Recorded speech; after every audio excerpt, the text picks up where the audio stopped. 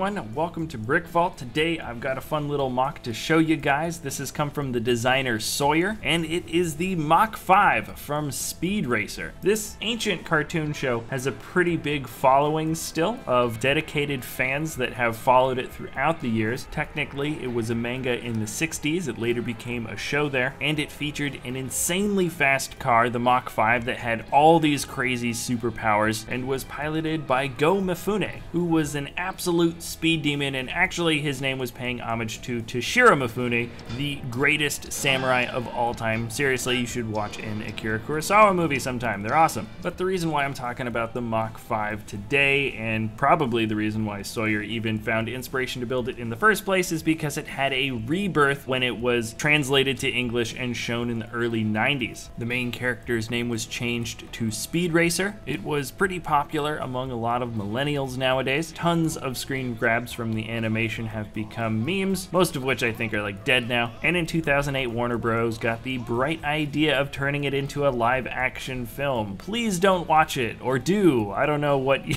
what your taste is. Long story short, we got the Mach 5 here, and I think Sawyer did an excellent job translating this into Lego. Real quick, you can get the instructions to build this at our web store, www.brickvault.toys. Included are the PDF step-by-step -step building instructions, as well as an XML parts list file for uploading and ordering the parts instantly online. It's a great way to help support us here at the channel as well as the builders that we work with like Sawyer. And okay, let's get back into the build. Like all race cars, it's a pretty low, long, and sleek build. That 5 is a custom sticker, so if you were to get the instructions, you'd also get a PDF uh, sheet for printing onto sticker paper, and the same goes for the M in the front. The front of the build has a relatively smooth look. There's a couple of studs showing off there, but I think it looks best from that lower angle where you can see the studs have been inverted so you can see the kind of rounded over nose. Those couple of yellow inverted slopes make up uh, the front headlights or where they would be. And if you look really close at that sticker M, I'd like you guys to find where I accidentally ripped the sticker in half and put it back together. I think it did a pretty good job because you can't really tell upon closer inspection. Now looking at the model just kind of from all the general angles, uh, you might be able to tell that this is based on what the Mach 5 looks like from the cartoon show, and it is not the adaptation from the 2008 film, which is kind of interesting because the 2008 Speed Racer sets that came out in conjunction with the movie had builds that were definitely based on what you saw from the film, but the minifigures looked like they had faces that matched the characters from the cartoon. Anyways, this is built at the same scale as the original Mach 5 set, though I think Sawyer really knocked it out a lot better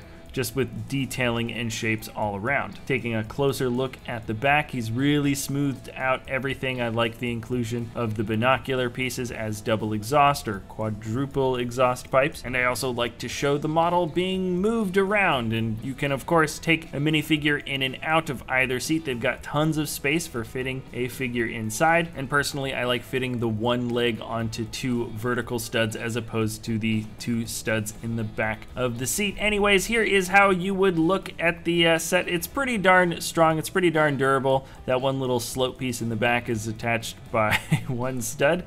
But honestly, I handle this model as roughly as I would handle anything. It is a solid block of bricks, pretty much. Um, I couldn't say that I'm being delicate with it at all. So this is certainly very, very strong for a custom build, even strong for a Lego playset. And of course, this thing can roll around no problem. It's actually pretty darn smooth because it's a little bit heavy. All right, guys, let me know what you think in the comment section about this build. Also, I focused a little bit more on the history of Speed Racer in the beginning. Let me know if you guys want me to focus kind of on the history of some of these custom builds more so in future videos. I find that I'm constantly cutting that part of the video down. I let it go a little bit longer this time, so let me know. These are the three builds that have come from Sawyer so far, all available in the web store that is www.brickvault.toys. Thank you so much for watching. If you enjoy our content, you can always like or subscribe, and we will see you next time at Brick Vault.